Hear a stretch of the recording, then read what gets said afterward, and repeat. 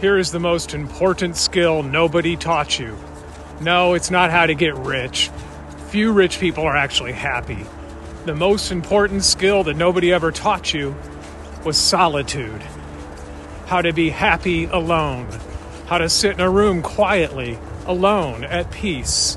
How to take a walk alone in nature.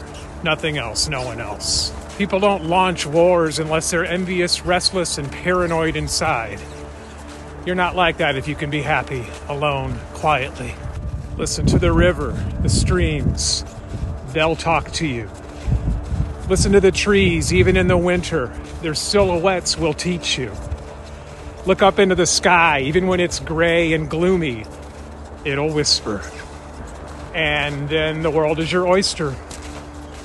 All these things that get other people down, all these hangups don't really matter. And then guess what happens? More people want to be around you because you're just chill with things as they are, because you can be quiet, alone, happy.